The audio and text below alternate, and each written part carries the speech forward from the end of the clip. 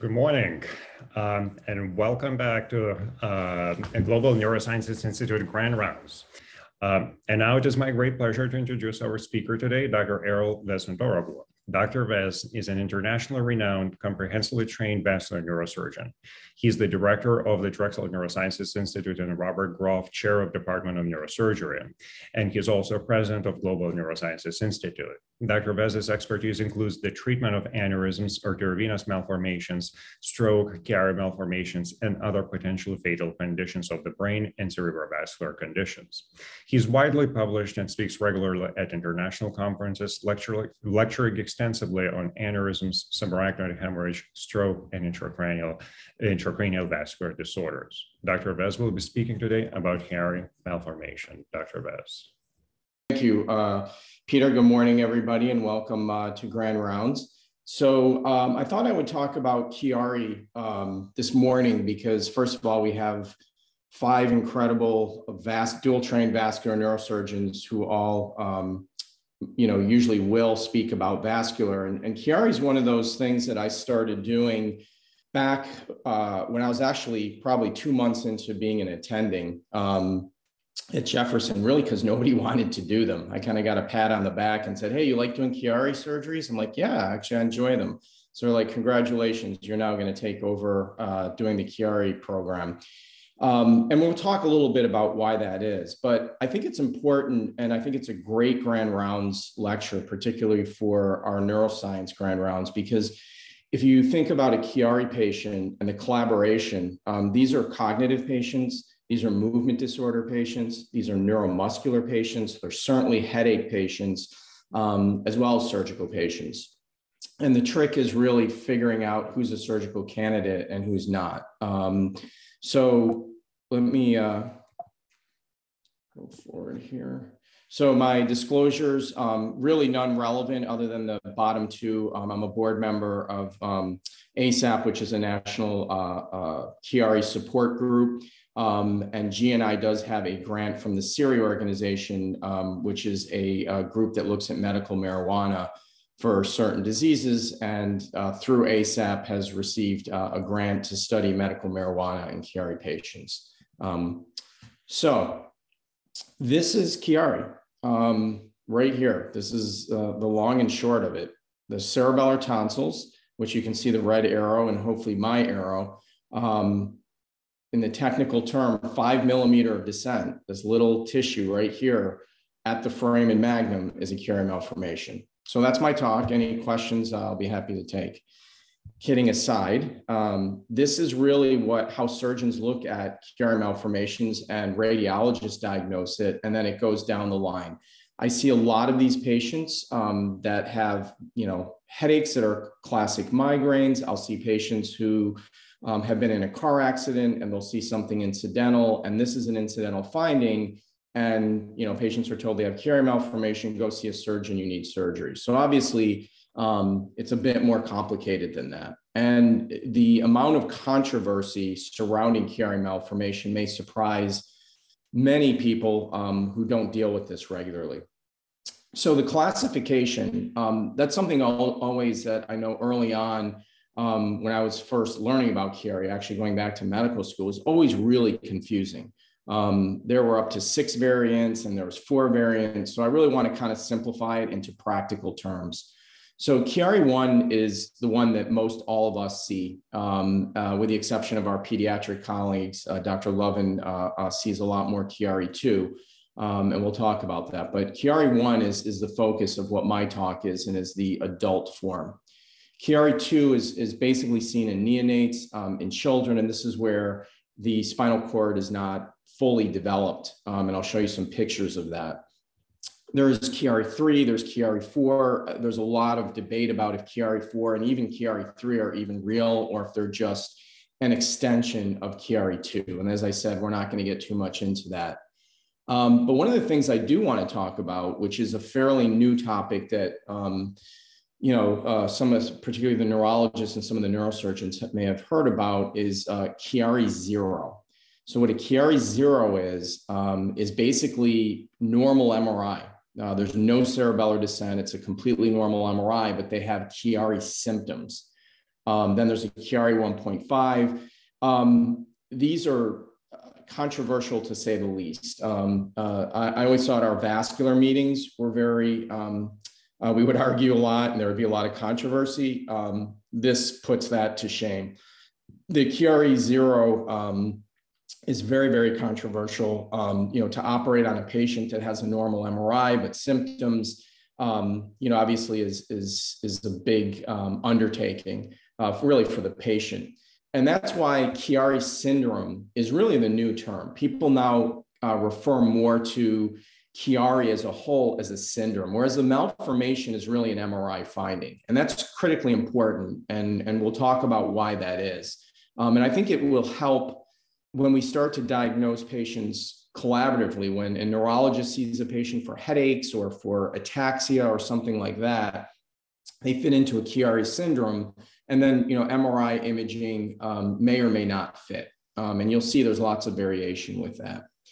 So the type two, I just want to briefly um, go over because it is something that um, some uh, uh, uh, of us may see in adulthood um, for, uh, as children that present with this. And it's basically failure of the um, embryonic neural folds to meet. most of these kids have a very small posterior fossa almost universally have hydrocephalus as well, presents in neonates, so it's pretty much you see it at birth. Um, and a myelomeningocele you see in 100% of the cases. And this is what this looks like. When I was training at CHOP, we saw a lot of these. CHOP was one of the busiest uh, places um, uh, uh, for this. And if you can see through here, this translucent membrane is, is essentially the arachnoid. This is skin and if you see in here, it kind of looks like a, like a hot dog bun split down the middle. That's the spinal cord. And those are the neural folds that have not completely come together. And really the, the goal of the surgery is, is to bring those folds together and to close up the skin. And actually at, at CHOP, we did one of the, uh, I was lucky enough, I was a resident.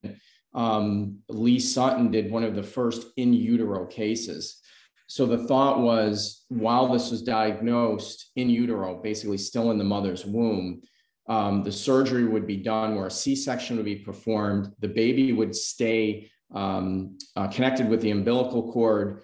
The embryo would, uh, the baby, the fetus would come out. We would repair the uh, uh, myelomeningocele and then basically put the baby back in the oven to cook a little bit more.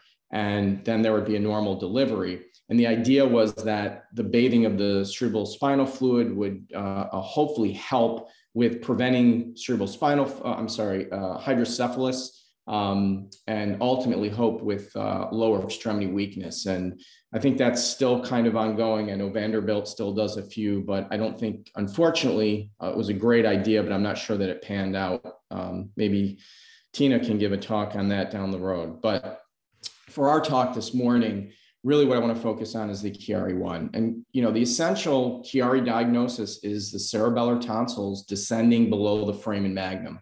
Now, there's a range uh, based on age. As we get the cranial vault, um, as we get older, obviously expands and grows. But also, as over the age of 30, we start to develop atrophy of the brain. So the amount of descent changes from 10, 30, and then over 80 years uh, uh, old. So the, the, the numbers do change um, based on the age of uh, the patient. And as we mentioned, you know, five millimeters of descent. Now, is this a Chiari? So if someone has headaches um, and they have five millimeter of descent, do they need surgery? Well, a lot of patients do get surgery. And, and, and I think, unfortunately, um, without the correct diagnosis, without the correct multidisciplinary approach, a lot of people with migraines who happen to have low-lying cerebellar tonsils or even six, seven millimeters of descent um, end up with surgery. And obviously the migraine headaches don't get better. Um, so you'll see that, uh, um, you know, as more and more kind of collaboration uh, among physicians with Chiari has occurred, we've realized that really size does not matter. Um, and, and another thing that, that is, is I, I think is really important, particularly in this disease, is sitting and standing, um, or I'm sorry, prone or standing on MRI this is a dynamic, it's a, a very dynamic and not fixed, um, uh, our intracranial uh, vault and the CSF patterns as well as descent. So you can see here on the left, this is a patient sitting and you can see the amount of herniation of the cerebellar tonsils. And then you look at a patient who's lying prone and you can see that's probably about three millimeters difference. So, um, you know, MRIs can, can also clearly vary. So what, what's the triad that we see? So the, the three main things, and again, to, to, to simplify, um, the three things that kind of go together with Chiari and, and all have to be looked at are hydrocephalus, um, herniated cerebellum, like we talked about, cerebellar descent, and then ultimately a syrinx. And so we're going to kind of talk about all these, all three of these things. And the hydrocephalus and the Chiari malformation really becomes a chicken and an egg because about 25%, I personally, I think it's probably a little higher, of patients with Chiari will also have hydrocephalus, either um, presenting that way or in a delayed fashion after the decompression is done. And the idea here is that there is a slow hydrocephalus and the brain compensates. And as the brain compensates, there's a downward force, which is what ultimately is calling this, causing the cerebellar descent. And the syrinx, we're going to go through that pathophysiology. And I think it's it's a lot simpler than people make it out to be, um, and it makes sense because once you decompress and you open the foramen magnum and the CSF is allowed to flow, a greater than 80% of the syrinx will just resolve on their own.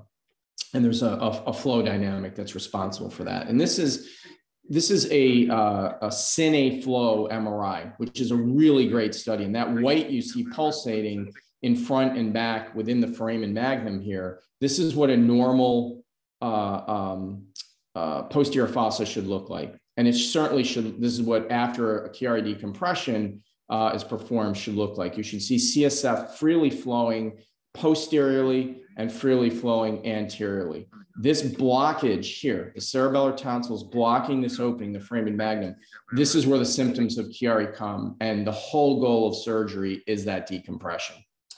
Um, so let's talk a little bit about the epidemiology. So the average age of pre presentation, again, for Chiari 1 um, in adults, it's about 40 years old. Um, I, I, think the oldest patient I've ever treated was 83. Um, and you know, the youngest, obviously, as you saw, can go down into the uh, Chiari two, but but certainly into um, uh, uh, young, uh, as young as five, six, seven years old. Um, there, there is a uh, larger female preponderance. The average age of symptoms that patients have before they're diagnosed is about three years. Um, if you include headache, um, it's seven years because you know headaches are very very common and most people don't start getting a more detailed workup until later. Um, uh, presents again in adulthood young adulthood about 20% of patients will also have an associated syringomyelia if that's the case symptomatology is much much higher um, because once you get to the point of a syrinx there's um, particularly with headaches there's some uh, um, pretty significant blockage there and the syrinx in of itself will cause um, uh, uh, symptoms that we'll talk about. And as mentioned, about 20, in, in most studies, you'll see, um, you know, the average is about 25% or a quarter of the patients will present with hydrocephalus. Um, far and, and, and beyond anything, the most common symptom is pain. Um, and that's, that's really headache. I And that's, that's the most common uh, uh presenting symptom. Um, but it also will come down to uh, neck pain, girdle pain, arm, leg, and it can be very, very diffuse. And a lot of these patients become diagnosed with chronic pain syndromes, RSD, um, or you know just kind of uh, uh, psychosomatic. Um, you know the headaches are pretty classic, and you know we always think of them in the back of the head, and I'm going to show some slides of why that is but the headache can be anywhere. It can be frontal, it can be at the vertex, it can be behind the eyes. Um, but one of the kind of, um, you know, gold standard sign is anything where there's a valsalva, coughing, laughing, sneezing, straining for a bowel movement. Um, we get venous congestion. And during that congestion, as the venous sinuses expand, there's a further pushing and blockage of the foramen magnum. And that's where the headaches really come from.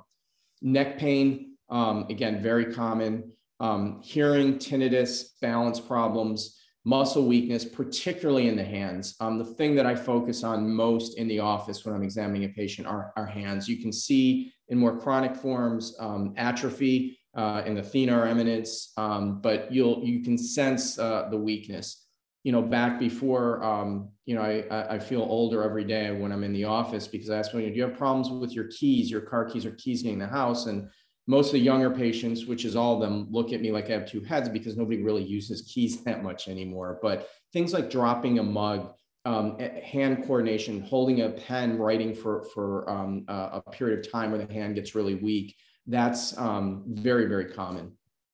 Dizziness. You know, then you start getting to more vague symptoms, ringing, um, tinnitus, which is um, uh, actually not as uncommon as you'd think.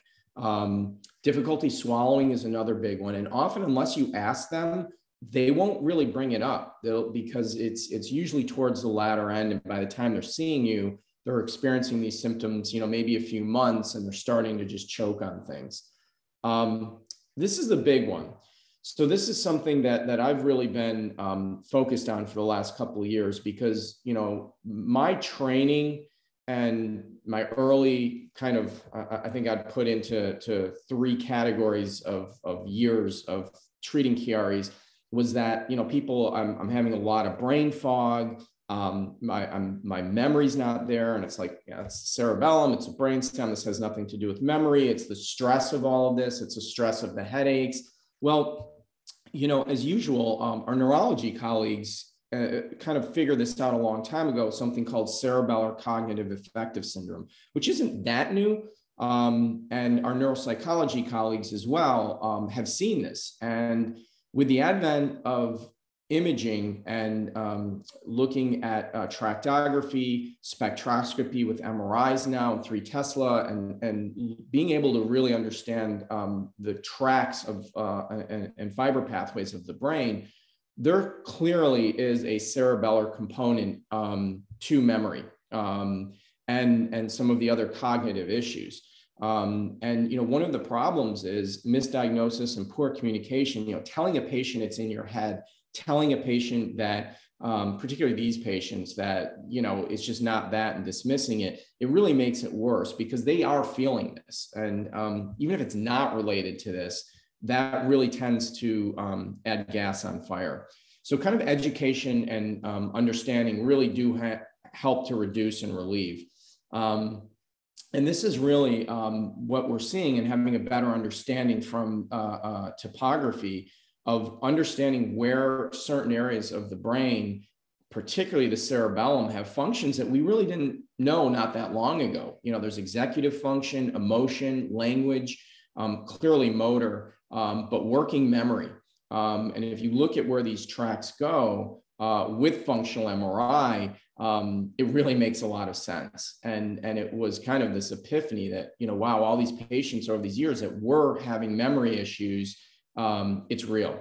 And this is also, you know, very important to illustrate why there is a, um, uh, having a multi, true multidisciplinary approach to this is critically important. And often I will have um, Dr. Glebus, um, our neuropsychology team, uh, uh, uh, you know, look deeper into this. I've talked to Dr. Gallo multiple times, and actually we're working now on trying to get a protocol where we can kind of have almost a Chiari clinic where patients come in and kind of get this comprehensive evaluation and really more to start looking at before and after patients, patients that are having cognitive issues with a Chiari, getting a baseline, after their decompression, um, looking at a certain time point and seeing if there's a change. And if you add spectroscopy onto this, um, I think this is a really important study. Um, so let's let's talk about the signs. So the signs, meaning things that we see in the office, not that the patient's feeling, but things that we pick up when we examine a patient. You know, one of the more common things is uh, nystagmus. Um, you can see an upbeat nystagmus. Um, it really can be any. I mean, I, I, tend to see commonly more an upbeat nystagmus, um, but there can be variations. Um, you know, the difficulty with gait, patients compensate because this is more of a chronic uh, uh, a process, um, but you clearly see uh, subtle, particularly more of a wide base gait.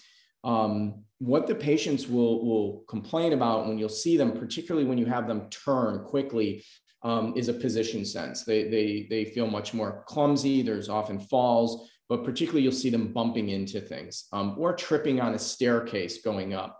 Uh, those are common things I uh, ask. Hand atrophy, um, you know, just really grip, that simple, you can pick up.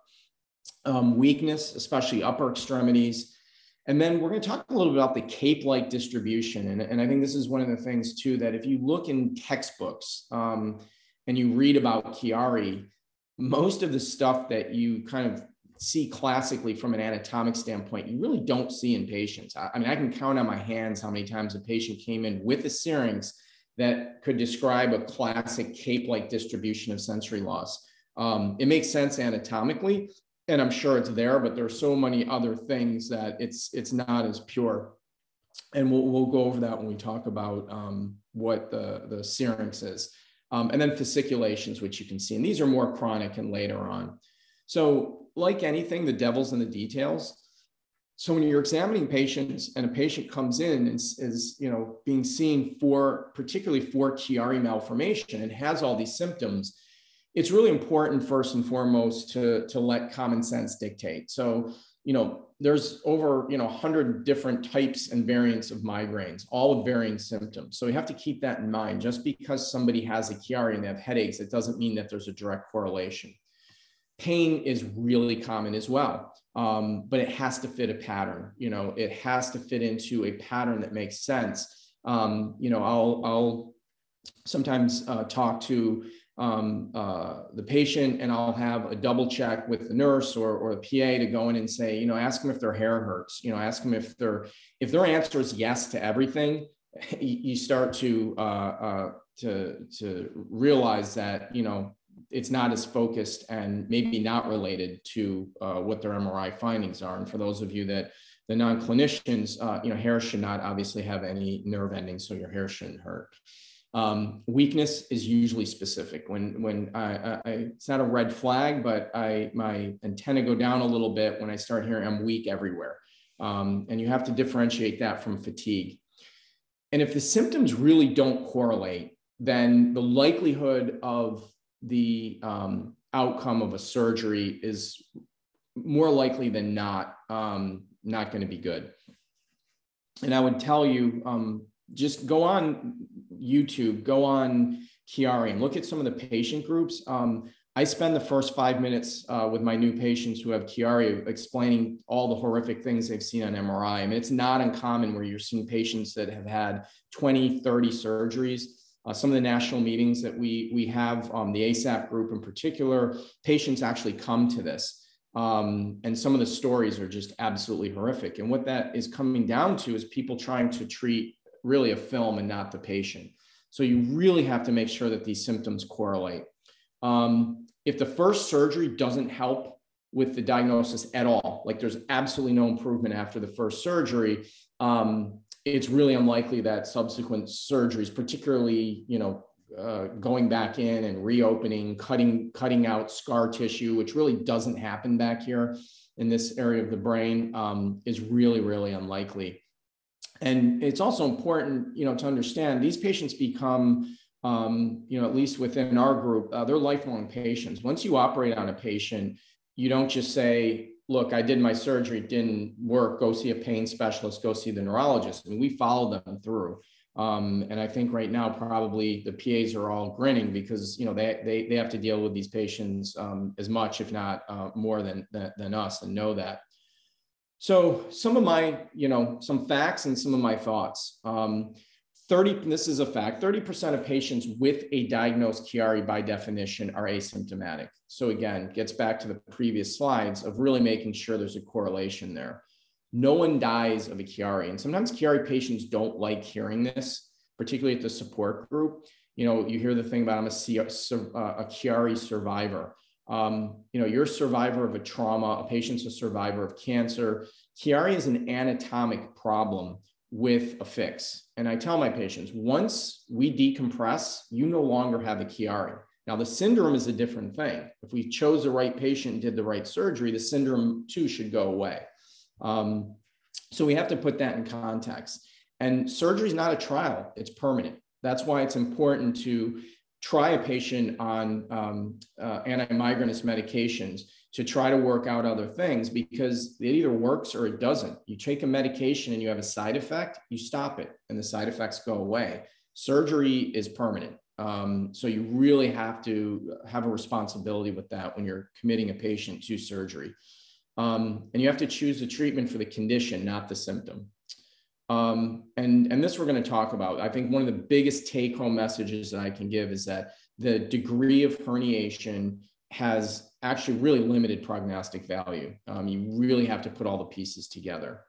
So let's talk about treatment. And, uh, you know, I put probably five different lectures together into one to give a 30,000 foot view of this. And, you know, obviously a lot of lectures are just about surgeries and techniques. And, and I'm not going to get too much into that other than what the procedure is and what the goal is, um, which is really what it comes down to.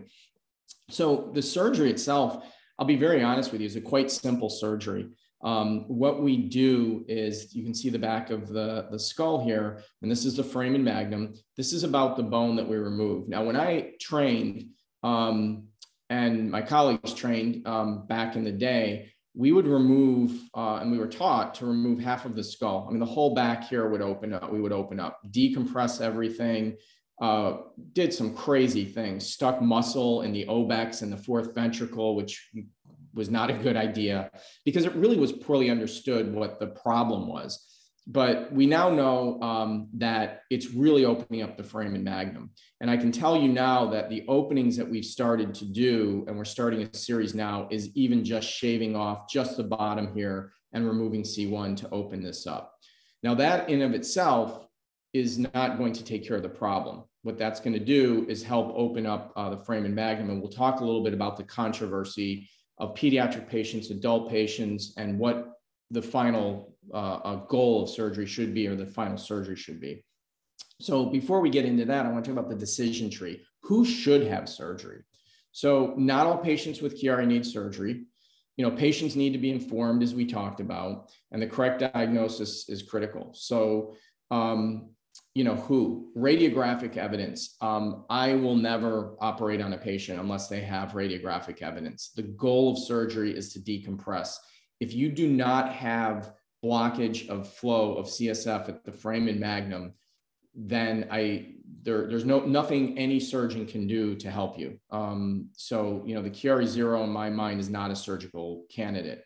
Um, clinical symptoms that are specific, not um, non-specific headache, fatigue, generalized pain, um, it has to fit a pattern. And to put it, to tell you to, to, to actually um, prove that Chiari, um, there's no guidelines and everybody is all over the place with who they operate on. Aetna actually has guidelines. This is the only real guideline out of carotid artery stenosis where we have good data. They have guidelines of what they'll pay or not pay for. So if a patient's being told they need surgery and you have Aetna, they're going to tell you we're not going to pay for it unless you basically have MRI diagnosis. And they go into specifics. Cerebellar tonsils greater than five millimeters, three millimeters in children, associated with crowding, compression of neural structures, or a, a, a syrinx. They also tell you what they won't do it for symptoms are related to headache, neck pain that you know hasn't uh, uh, uh, failed, uh, has not failed conservative treatment, um, sleep apnea, so all these different things that they're doing. So the, the reason they're doing this is because uh, there's really no clear consensus and there's people that are being operated on that probably shouldn't be. So how do you make sense of this? You know, what, what there, there's so many different paths and particularly for the patient. Um, you can imagine how many getting different opinions, going online, hearing different things, trying to sort out the Chiari malformation in children versus adults, because a lot of that gets mixed up. So you really have to, um, I think, simplify things. And not all Chiaris are the same. So this patient on the left, which I, I we was my first slide, this is a patient with almost exactly five millimeters of cerebellar descent and had horrific, horrific symptoms um, uh, ataxic, falling, horrible headaches, um, swallowing difficulties, ringing in the ear, um, and just on and on and on and on. And um, she had a decompression, and I get a card from her every year. Um, uh, I think I did her like 2008, nine, somewhere around there. Here's another patient um, on the right. And this is a patient who was incidentally found. This is a pretty, you can, see the cerebellar tonsils are down here. Um, and basically had headaches. We managed the, no other symptoms, um, no syrinx, no other symptoms, managed the headaches with medication and, you know, didn't need surgery. So what are the goals of surgery? The goals of surgery are really quite simple. It's opening up the foramen magnum and restoring CSF flow. If you do not do that, you have not achieved your goal of surgery and the patients will not get better. And this is what, um, this is an intraoperative view. And these are the cerebellar tonsils. This is the dura that's opened. And we're going to talk about that surgery. So the bone, that bone has been removed. Um, and the cerebellum is up here. Here are the cerebellar tonsils. Um, this is the uh, uh, brainstem and the uh, spinal cord here. And so you can see the cerebellar tonsils being down here, whereas they should be up here. And this is where the blockage of CSF is. So the goal of, of surgery, um, my surgical protocol is opening the dura, identifying the cerebellar tonsils and the pica arteries um, are underneath here. So you have to be very careful, make sure you visualize them. And we cauterize. And this is a very, very important point we cauterize the cerebellar tonsils. We take bipolar cautery, we shrink them until they move up. They, they literally shrink and shrivel up to here. Take a bipolar cautery, shrivel, they go up to here. There's a lot of debate about this. Um, a lot of the surgeons and a lot of the, um, particularly the pediatric surgeons that are, are really adamantly opposed to this, talk about cutting the tonsils out and it's a bloody mess. You don't cut these out. You the goal is to shrink them because if you cut them you're going to get bleeding. If you get bleeding you're going to get inflammation and you're going to get scar tissue down the road. So there's a really big differentiation. Now some people don't open the dura at all. They decompress the bone they take off the c1 lamina and sometimes there's a thick fibrous band there and they'll cut it and then they'll just leave it. Again um, there, there have been more and more studies done with this um, and the recurrence rate is much higher. So I, I strongly feel that those that dura has to be opened and those tonsils should be shrunk. Is there any uh, level one evidence? No, and we're going to talk about that. So again, the goal here is you can see some here. There's absolutely no CSF going around here. This is pre. This is post. This is what it should look like post. And if you compare the two here, you see this. This isn't crowding. This is a peg. This is a cork in a bottle. And again, if I don't shrink, these are the tonsils here, compressing. You can see uh, the brainstem being compressed. If I don't shrink those tonsils and take them out, which they're, they're there, they're going to still be low lying here. There's going to be CSF space here, but over time, there's uh, a higher probability that they're going to um, obstruct. So let's talk about specific patients. Um, and I think that always helps when you're talking about real people and real symptoms. So this is a 25 year old female who was referred um, with a Chiari malformation, um, had uh, I think it was six, seven, had a had a diagnosed Chiari on MRI. Uh, she had really bad neck pain, um, was tired, starting to actually get depressed, um, would get debilitating headaches. She's had them since childhood, but around the time of her period, they would get a lot worse. Um, this is her MRI. Office visit, um, she just started a, a really high stress uh, job um, at a company. She was in Philadelphia. She got an executive position um, and she just really wasn't sleeping well. She hated her job. She was very stressed out. Um, and on exam, this is a very key thing. Her neck was really tense. Her MRI, the straightening of the cervical cord, that's muscular. Chiari does not cause, you shouldn't have tenderness in your neck from a Chiari malformation. It's, it's, it's more of a neuropathic type pain. Um, now you can see it if they're guarding or they're positioning their head a certain way to avoid um, headaches or pain, but for the most part, um, this is all muscular. Um, she has a history of childhood migraines. Her mother had migraines, light sensitivity, loud noises. Um, her exam, completely normal strength, sensory is normal, gait's normal. She had hyperreflexia. She's a young female. It was symmetric. It was not out of the, the norm. So this is someone who, you know, what's the plan? Technically, you know, she had a Chiari malformation and, you know, the discussion could have been, well, let's do a decompression and, you know, whatever goes away, Uh, we know it was a Chiari. Whatever doesn't, we'll treat. And, and that's not an uncommon plan. I see a lot of second and third opinions. Um, I don't think that's a great plan. Um, you go the other way around. So basically, um, her headaches were, she was on the right migraine medication, um, which she really wasn't before. Migraines were resolved, changed her sleep habits, got a new pillow, um, and everything started to get better. She ultimately changed her job, but you know, at three months, it was night and day. Um, and sometimes patients just need to hear and trust you that it's not this, it's this, but we're going to kind of get you through the rest of it, not just say, oh, it's not this, go find another doctor. So let's look at another patient, 42 year old female, um, mild headaches, really not that debilitating, um, dropping things, um, was having neck pain, and really it was her unsteady gait and was starting to trip on things. And her primary care doctor is the one who sent her really for that. She wasn't really complaining that much about the headaches. Um, she thought it was lack of sleep and other things. Um, so in the office, um, you know, doing a review of systems, she she did have tinnitus, which was new again, she was like, you know, now that you mention it, I'm I'm really much more cautious about swallowing, and I I, I feel like I you know I have to really work and concentrate on getting um, solids down. And asking about the headaches, you know, she said she stopped, you know, particularly bending and lifting heavy things because the headaches got a lot worse. And on her exam, um, she had profound hand intrinsic weakness, no atrophy, but but uh, profound hand weakness, decreased gag, um, was ataxic, particularly uh, on turns, um, and had a truncal ataxia um, and almost a titubation. Um, and her plan was surgery. Um, and again, that's the goal. You know, the before and after should look like this. And this is that patient um, that I just showed you. So you really, again, have to put things in context. And this is what it should look like after the surgery you should have that free CSF flow. Whereas you can see here, there's no way CSF is getting around that in the left. And here you can actually not only see the white on T2 sequences, you can see the flow. So the Cine flow is a really, really good tool. And it's also a great tool to rule someone out.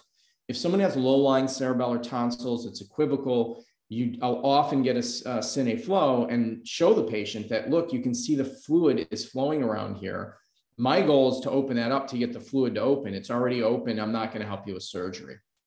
So why is there so much controversy? Um, so what's the definition of Chiari? Um, most people will start off with five millimeters of descent, and most people that uh, most of the surgeons that treat this, they'll throw in a lot of other things. Is it a Chiari syndrome? Is it, you know, again, let's talk about the Chiari zero. Is it just a syndrome? Is it not radiographic? Is it five millimeters? Is it seven millimeters? Do they have to have, is it headaches alone? Some people won't operate on Chiaris with just headaches. So there's a lot of um, uh, uh, controversy on even what it is.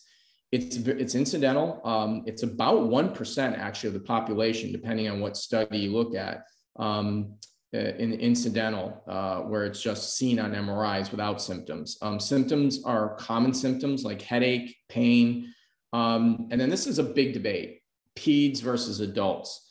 They, I've always felt very strongly that these are different diseases, and they're different. Um, you cannot look at them the same, and, and and even the surgeries, I think you have to look at a little bit differently.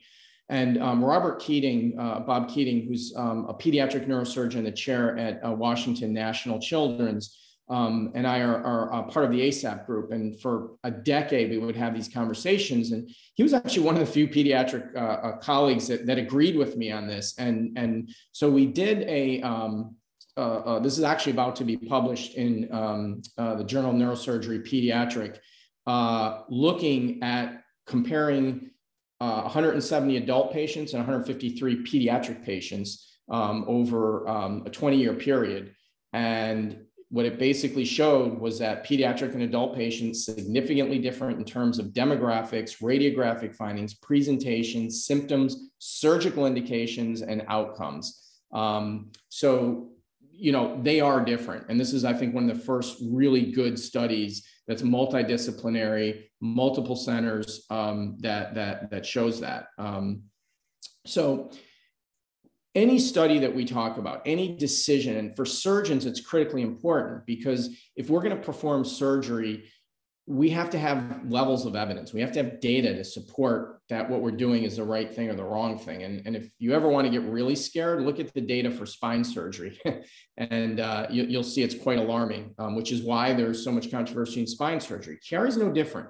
So this is just a really brief reminder that you know we have levels of evidence um, for uh, data uh, to suggest doing something or not. And it's from level one being the highest, which is a randomized controlled trial, a meta analysis with same results, um, with controls. Um, that's really, really rare. It's a high strength. Most of the stuff that we do, quite frankly, at the best case scenario, um, is level three. And you know the recommendations are, you know, class one, it's recommended. Um, and then you get into should be considered, may be considered, and then just outright is not recommended. And you'd be surprised at how many things are done in medicine that are class three that are still being done. Now, this is not a hard and fast rule either, because there are certain many diseases where there's no great answer to, and the, the data is crap. So that's where the judgment has to come in. But this is a guideline. For Chiari, we're in class 2B at best. Usefulness is less well established by evidence and opinion. It may be considered. Um, so that's why we really don't have hard and fast rules. So what does constitute a Chiari? Uh, five millimeters, three millimeters. Is there a syrinx? Um, you know, almost always a syrinx along with the Chiari is pretty much a slam dunk. Um, cine flow. Is there obstruction of CSF flow? Um, symptoms. Do the symptoms correlate? And you know, really the answer um, is yes to all of these. There needs to be some form of uh, obstruction at the foramen magnum, syrinx plus minus, but if the syrinx is there, it, it with a Chiari, it immediately goes into that yes category.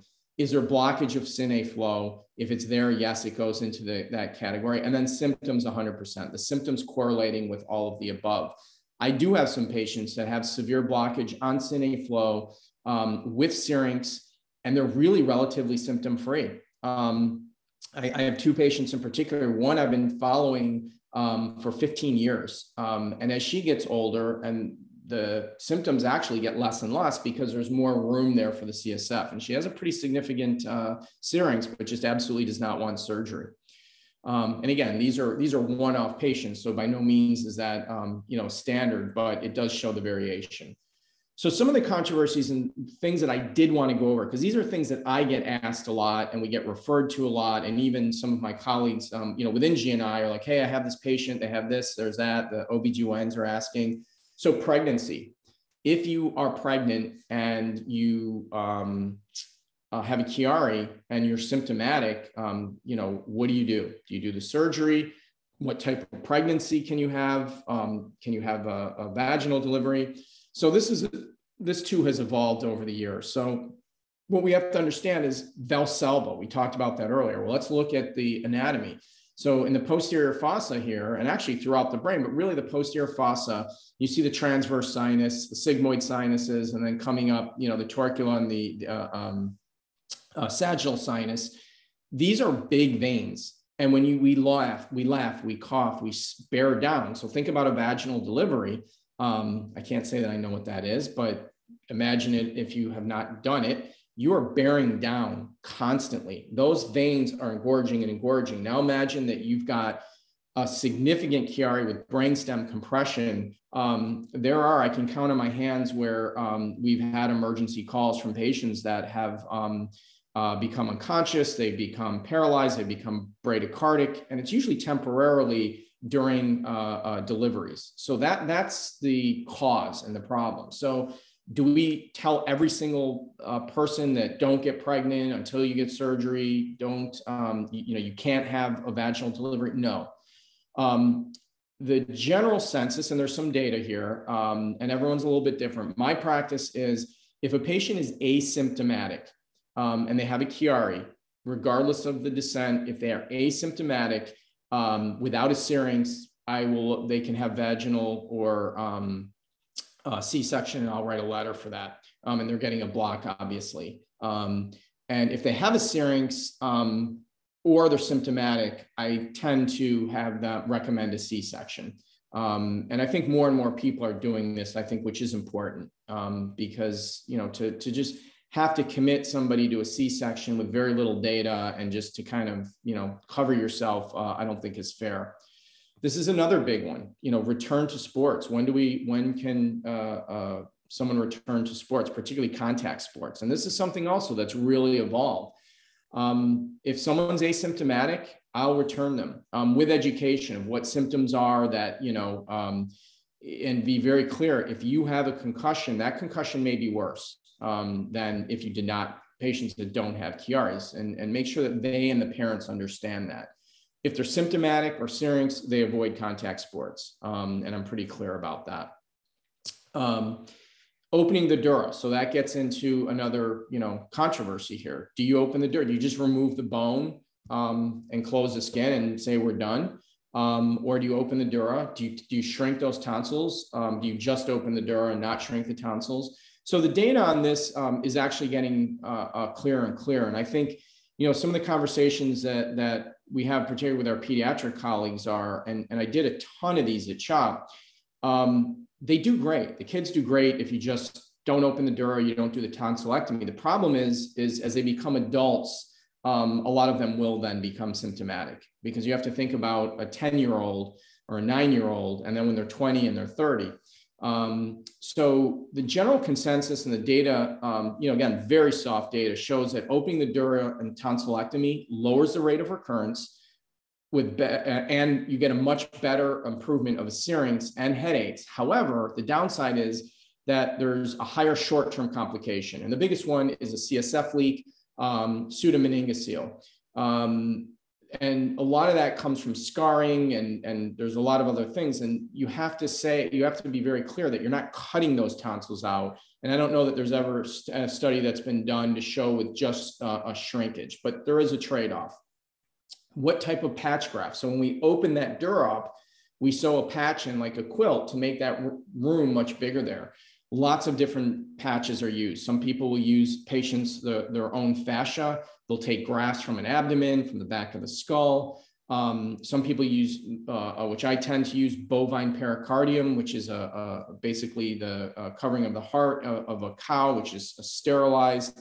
Um, and there's other types of uh, synthetics uh, um, that, that are used. Um, there really is no major difference in material, but if you use something that is not from the patient, there's a, a, a slightly higher incidence of that kind of inflammation and pseudomeningocele, but 90% of them are not clinically significant, meaning they don't need resurgery, they don't need, it pretty much goes away on its own. And this is, this is kind of what it looks like.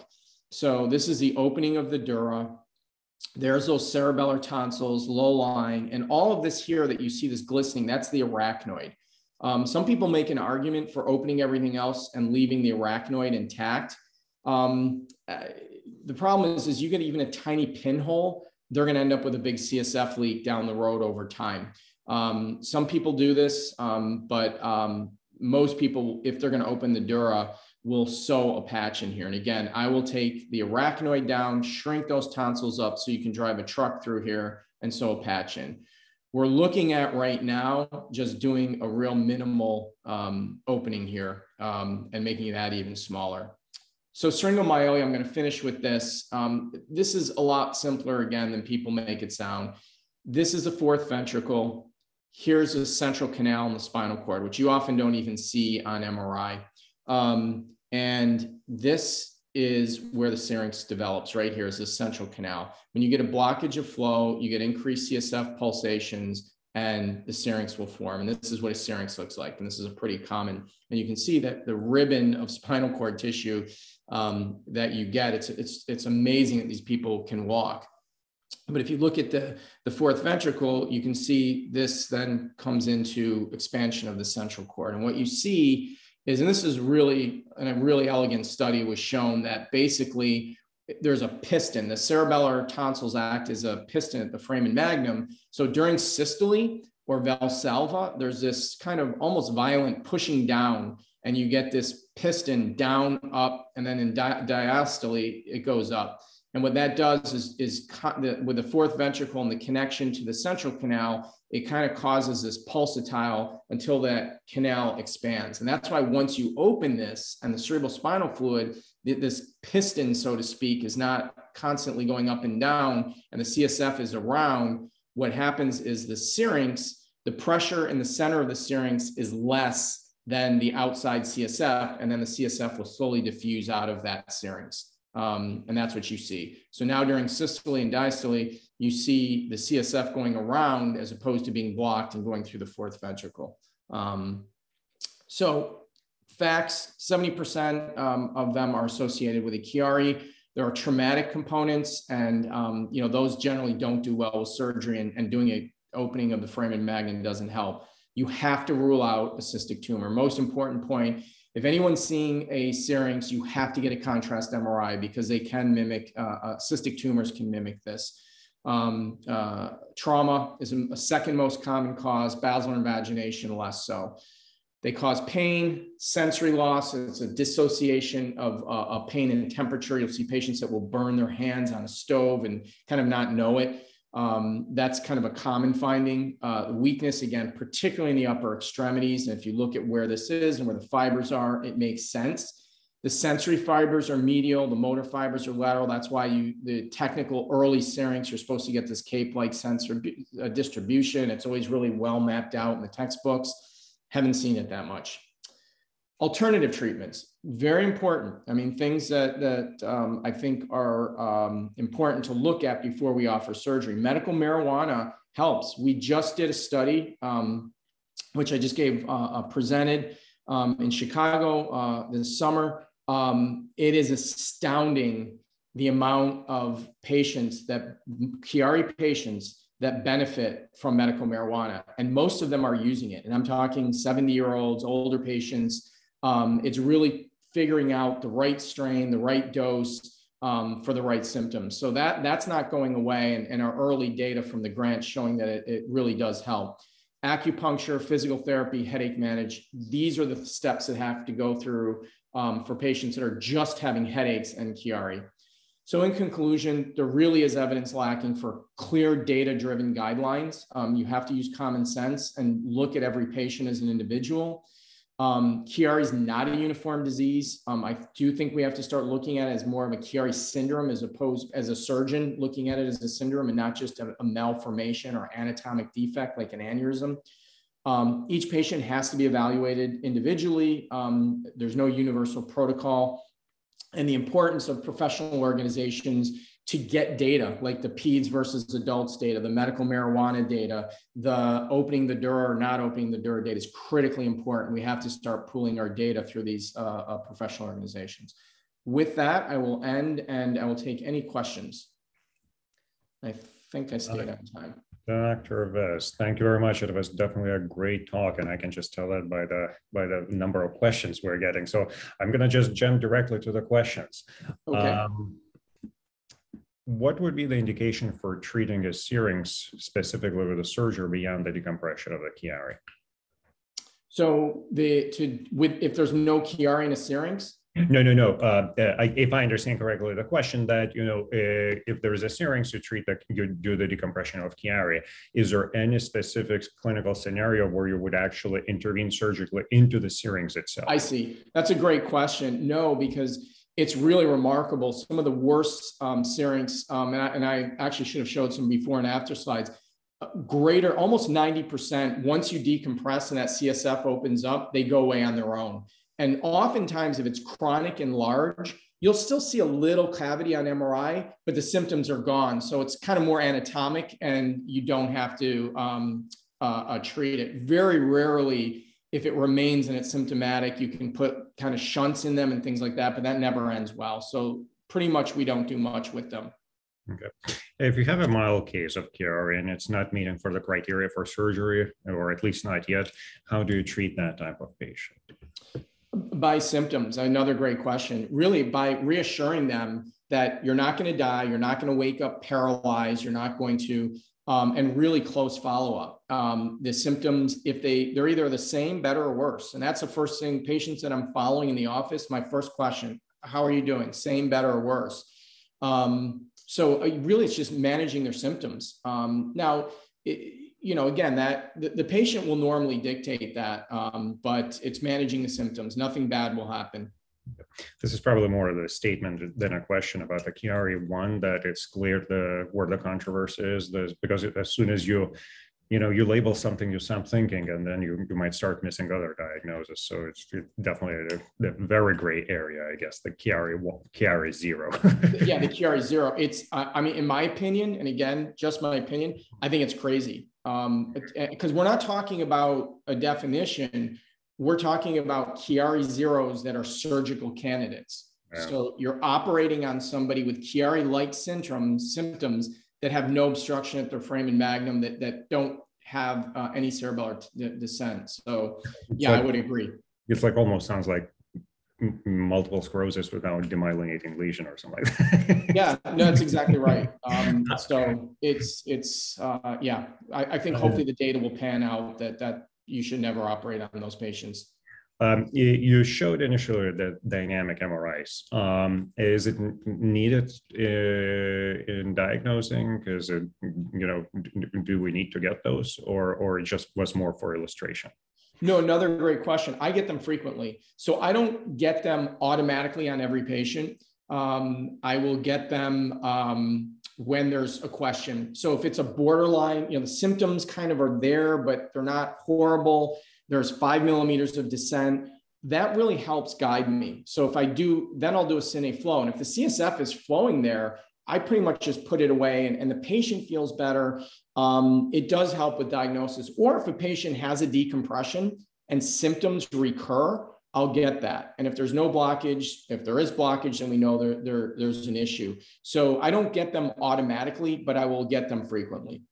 Where can you get the the dynamic, the one the upright and you know the the the supine and as well as the Cineflow? Can you get it at any MRI facility or the? Yeah, actually, you know, Crozer, uh, John Healy, and and, and Morgan and uh, um, Abby have done, and, and uh, Abby Deans have been great partners, and they do specific sequences for Chiari, uh, like T2s, things that a lot of other places don't do. Um, so most places that do high volume and comprehensive do, but Crozer uh, will do it. Um, uh, uh, Oleg Teitelbaum at uh, uh, Mercy does it for us in, in, a special thing, but you have to specifically ask for the Cine flow. And here's one of the problems. The radiologists don't get reimbursed for it. So a lot of them just will either pretend they'll do it and not do it. So you got to make sure they do it. Chiari and LP, lumbar puncture, and your contraindication because I and I've actually encountered myself, you know, the, uh, several people at LP they had Chiari, which was asymptomatic. They get LP, it, it really becomes symptomatic. So, Great question. No, I, I um, that's one of my um, uh, that is something where I've seen disasters, and again. Um, that's where Cine flow can be helpful because if there's no obstruction there, you know, you don't want to do a high volume, but in general, and I'll tell you one of the big problems are the pseudotumor. I have patients that have pseudotumor with slit ventricles. The diagnosis for pseudotumors in LP, but they also have a Chiari. Um, so you know it becomes uh, uh, uh, difficult. But yeah, a, a, lumbar puncture is a contraindication in a Chiari patient for sure.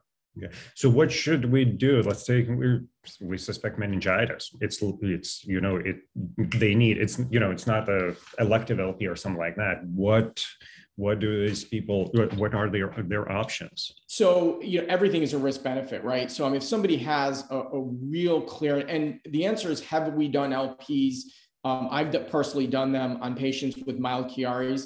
Yes, but the goal is you want uh, the smallest needle possible and you want to get like five cc's at most. Um, really where the herniation comes with you know like a Tuohy needle if you're doing lumbar things like that where a lot of csf is it, it's a, a, a, you know negative pressure in a very acute uh, uh, fashion. So you want to get as uh, limited as as possible. Um, and if it's serious enough with meningitis we can always go in and um, you can you can do a ventric you know we can get it from uh, ventriculostomy like the pseudo, pseudo tumor patients i'll just shunt them. Okay. dr vest thank you very much. It was a great great talk uh, a, a, lot of interest in it. And uh, for all of our uh, listeners um, uh, we'll be looking forward to uh, welcome you again in a couple of weeks. We'll have dr Deteniaki from university of miami talking about epilepsy. Have a have a good day everybody. Great. Thanks everyone